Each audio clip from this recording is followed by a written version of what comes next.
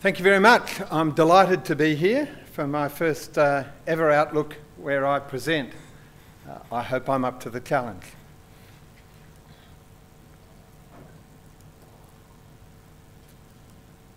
Clearly not.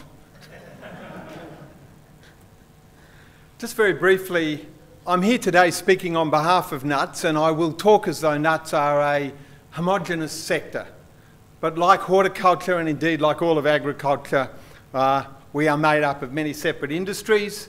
The members of ANIC are before you. Um, but I would just like to put a plug in that I think ANIC, hopefully, is one small step towards a uh, credible single voice for horticulture.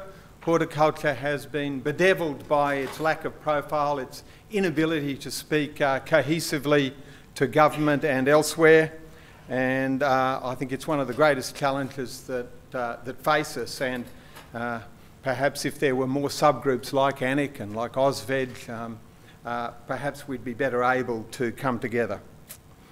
The nut industry is a little bit like a teenager. We are young, we are fast growing, we are willful, we think the world revolves around us, but we are outward looking and we have huge potential and I want to talk to you today about some of that potential.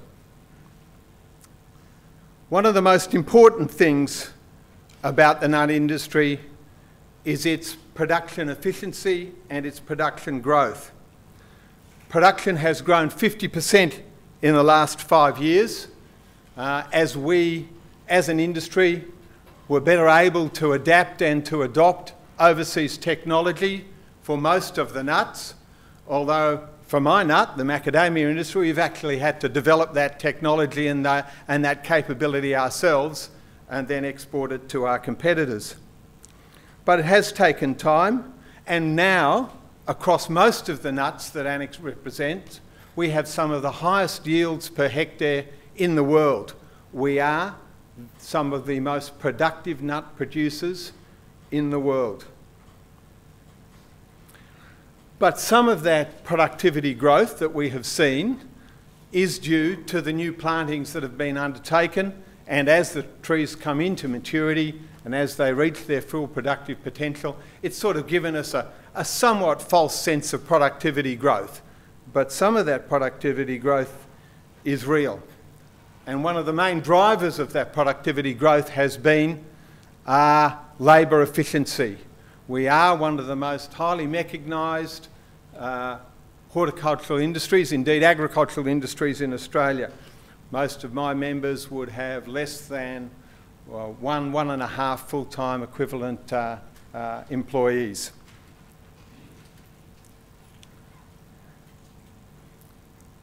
We do have world-class technology and practices, not only on farm, but through our processing and pa packaging technology as well.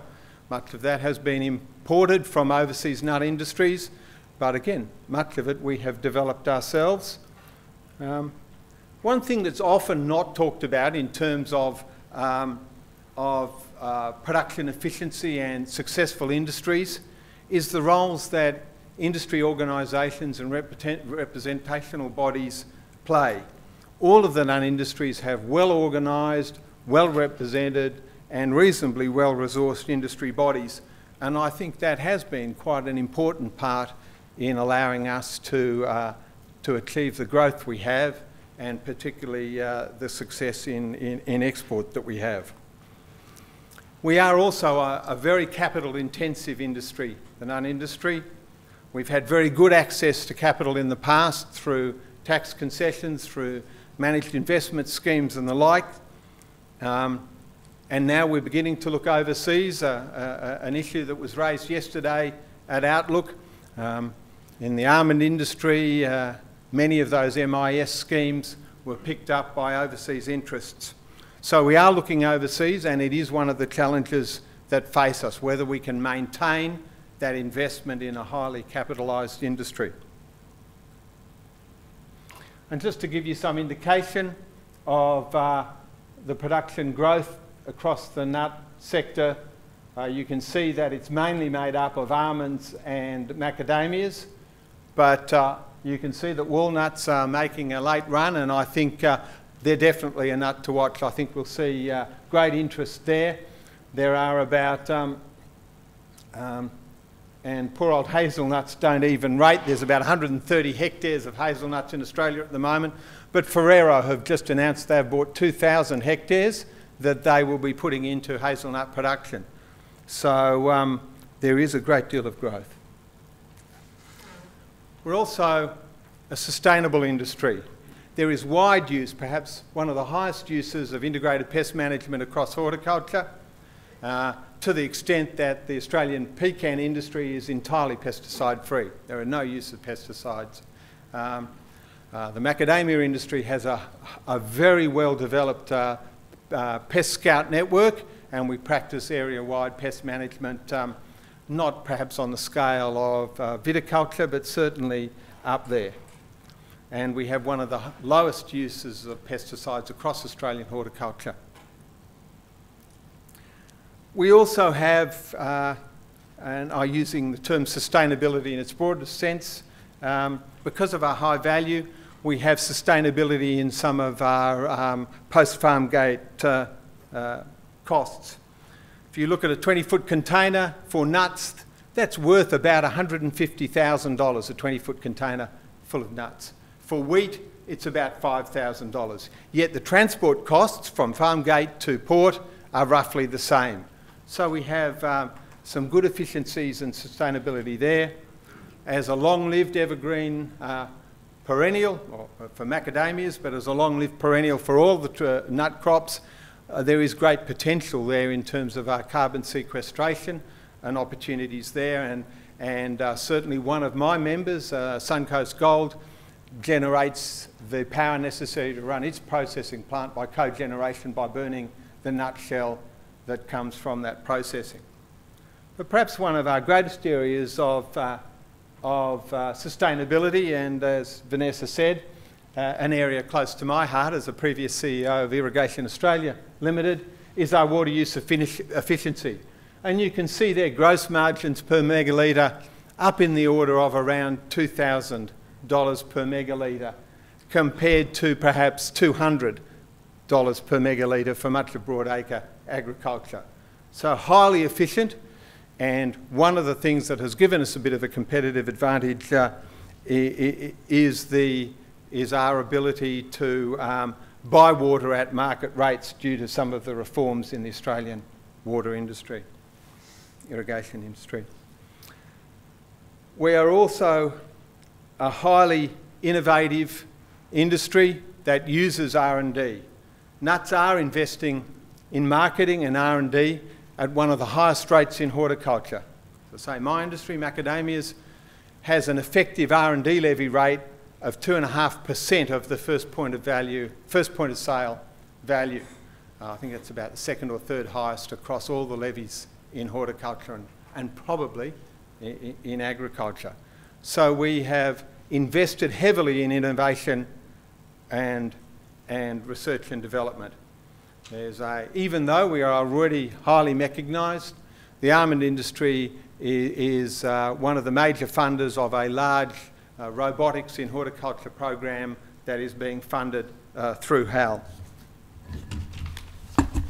And just on that, I would like to put in a little plug here that having spent close to 30 years involved in Australian horticulture, I firmly believe that Horticulture Australia is probably one of, if not the most important development for Australian horticulture. The improvement in our capacity as an industry, in the capacity of peak bodies, in our research and development, in our marketing effort since we had access to the HAL model has been profound and sustained. And I would urge any from government in the audience um, to think carefully about not only maintaining it, but to, be, to strengthening that model. That's not to say they can't be a very frustrating body to deal with sometimes. Um, we also have, particularly in macadamias, but across many of the Australian nut industries, a strong investment in breeding. About a quarter of our $2 million annual R&D budget in macadamias goes into our breeding program. And because we are the only country that macadamias are indigenous to. We have the country of origin gene pool, and that's a huge uh, competitive advantage. We've invested heavily in health research and promotion, and I'll talk a little bit about that later, and also in new product development. New product development is one of the key indicators of a growing and healthy industry. Our new product launches across tree nuts increased 17% in 09-10 compared with 07-8, uh, mainly in bakery, cereals, confectionery and ice cream, but across, uh, across many categories. And tree nuts, as I say, are perhaps the only product that can be found in up to eight aisles of the supermarket, uh, and I list them there. This is an enviable position, but it has come through a sustained and significant investment in new product development. I mentioned briefly before our investment in, uh, in health research. In 2003, the Australian Nut Industries established Nuts for Life. It is a nutrition communication initiative established by the entire supply chain of the Australian nut industry. I think, to my knowledge, it's probably one of the only uh, research programs in Australia that is funded by the Australian producers, the Australian value chain, and even the importers of nuts into Australia. All contribute to Nuts for Life, and uh, its aim is to provide useful, accurate, and up to date information on the nutritional importance of tree nuts in the diet. And I say, I think it is a great example of industry innovation, supply chain cooperation, and leadership. Three things that I think the Australian nut industry excels in. And if I can uh, just show you, we monitor the effectiveness of, of this. The commercial sector do not invest in programs like this unless they can see a clear return on their investment. And I think this shows you that since its inception in 2003, we have been able to show a sustained increase in both the volume and the value of the domestic consumption of tree nuts in Australia. And our latest success, and we do take some credit for this, is the profile that nuts received in the new uh, Australian Dietary Guidelines. These guidelines recommend a 350% increase in the consumption of nuts. Now, were the Australian public to respond to that, um, it would consume the entire Australian nut production and we would no longer be exporting. But um, this has come, again, through a... These, these dietary guidelines are based on 55,000 peer-reviewed scientific papers. So despite what the red meat industry might have to say about them, they are credible and they are science-based and they are the future.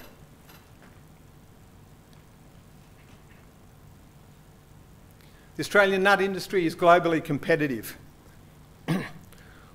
we are collectively, and I have to say that because Tanya's in the room, um, the largest uh, uh, horticultural export. Um, while citrus may be individually, um, as I was saying to Tanya earlier, I'd keep an eye on almonds. Uh, they're moving very quickly. But it is, uh, uh, uh, what citrus has done is fantastic. What we want to see is all of Australian horticulture getting behind export and realising that potential. But I do want to make a point that since the negotiation of the FTA with the USA in 2006, the Australian nut industry has had effectively no tariff protection of any kind. Yet despite that, we have grown both our domestic consumption and market share and our export uh, uh, share as well. And I think that the reason for this is it has bred a mentality of self-reliance. And so that when that FTA came in, the uh, pistachio and almond industries probably had $4 million wiped off the value of their industries overnight.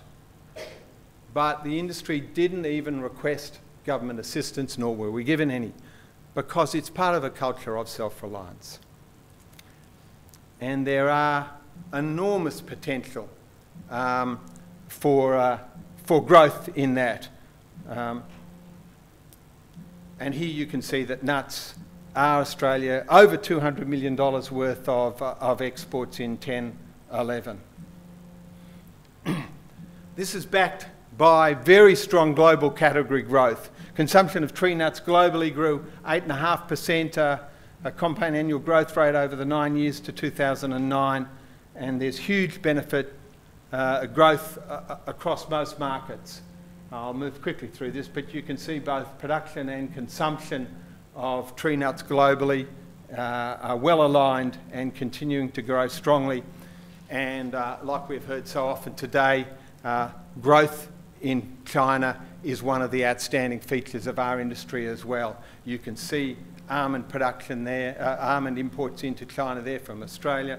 Um, sorry, these are globally, um, and through pistachios and, and walnuts as well. There has been some talk about uh, China's growth in production of nuts, um, but you only have to look at what happened in the hazelnut, uh, the, sorry, the walnut industry, where China produce about 270,000 uh, tonnes uh, domestically. They consume all of that and import another 90,000 tonnes of walnuts. So there is talk about China becoming the largest macadamia producer in the world by 2025. Uh, we welcome that. If that can turn Chinese consumers on to macadamias, um, that's a bigger market for us to supply, and we're confident they'll still import. I didn't want to leave without, though, talking about some of the future challenges. I mentioned briefly before attracting capital investment. We are a highly capital intensive industry. It is one of the reasons that we can compete globally. A lot of the developing countries, they may have cheap labour, but we're a highly mechanised industry and our processing and value adding requires capital investment and uh, they don't have easy access to that sort of capital investment. Unfortunately, neither do we to the extent that we used to. And uh, we will certainly be taking up the challenge that was raised yesterday about looking overseas for investment in our industries. The potential is there, the return on the investment is there, um, but unfortunately, Australian investors uh, don't seem to appreciate that. Our biggest challenge, without any doubt, is getting access to new markets. The production growth that we have seen and that we have forecast to continue has got to go somewhere. This is a hugely critical and urgent issue for us. And despite what Minister Emerson said yesterday, uh, progress has not been fast enough. The Australian government is not approaching this issue with enough vigour, with enough uh, aggressiveness, and nor is it working in partnership with industry enough, despite what uh, Minister Ludwig said. Uh, our competitors, uh, Chile, New Zealand, have much greater involvement of their horticultural industries, their agricultural industries in the negotiation of market access than we do. And we really want to see a change in that. And of course, uh, uh, climate change. Um, the graph that was shown by uh, BOM yesterday that saw those, that big blue streak down the east coast of, uh, of Australia with greater than average rainfall has had profound effects on my industry since the Australia Day long weekend. We've probably seen 20% of the value of our industry wiped off by that storm and subsequent wet weathers. And then you saw the very red streak down the middle where the almonds and, uh, are grown with less than average rainfall. And uh, despite their water use efficiency, those sorts of droughts are going to have, uh, if they continue in their severity and unpredictability, then going to have a profound effect on us. So just in conclusion, what I wanted to say was I think it was uh, Paul Morris talked about some of the things necessary for industries to survive and prosper into the future. He said they had to be strong in R&D and innovation. That's a tick for the Australian nut industry. He said they had to have increased intensity and productivity. That's a tick for the Australian nut industry. He said they had to be able to attract foreign capital. We've started to do that, we'll continue to do that. They had to have an Asian focus. We have been dealing with Asia and had joint ventures in China for close to 20 years in the macadamia industry. The other nut industries are not far behind.